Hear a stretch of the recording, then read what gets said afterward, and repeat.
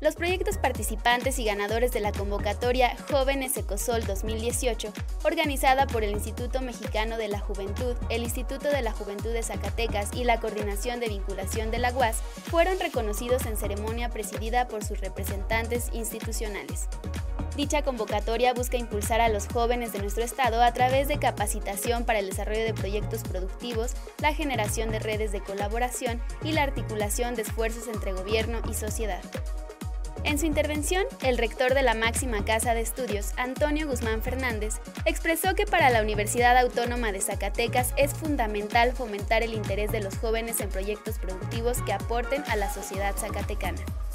Por su parte, la directora del Instituto de la Juventud de Zacatecas, Alejandrina Varela Luna, manifestó que este tipo de iniciativas fortalecen el trabajo institucional de la Universidad Autónoma de Zacatecas y el INJUSAC.